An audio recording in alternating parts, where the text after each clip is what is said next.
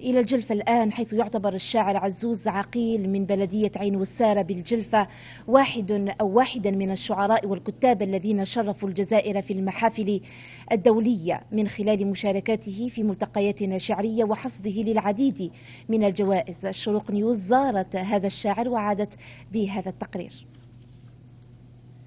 يعشق الشعر منذ نعومة أظافره تمر السنين ويصبح عزوز عقيل. ابن مدينة عين والسارة أحد كبار الشعراء في الجزائر ليجعل من نفسه سفيرا للحرف والكلمة ويجوب العديد من الدول العربية. سبق لي وأن مثلت الجزائر في الإمارات العربية المتحدة في تونس وفي مصر مؤخرا. كلمته وشعره المتزن مكنه من حصد العديد من الجوائز الوطنية وحتى العربية وفرض اسمه في سماء الشعر والكتابة سبق لي الفوز بعدد كبير من الجوائز الوطنية كما سبق لي الفوز بجائزة الاستحقاق الأدبي بلبنان ثلاث جوائز أو أربعة في في مصر ومن بينهم السنة الماضية الجائزة الأولى في الشعر في مهرجان القلم الحر.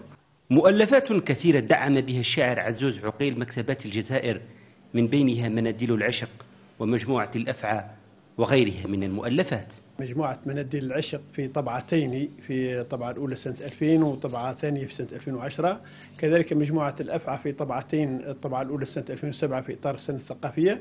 والطبعة الثانية آه، طبعت في مصر مؤخرا.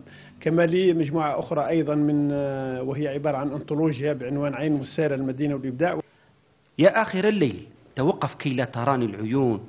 يا آخر الصمت أصرخ كي أنتفض من آخر العمر. مقتطفات من نص للكاتب عزوز عقيل بعنوان آخر الأشياء لكن في وجدانه أشياء أخرى قد يذكرها في نصوصه القادمة.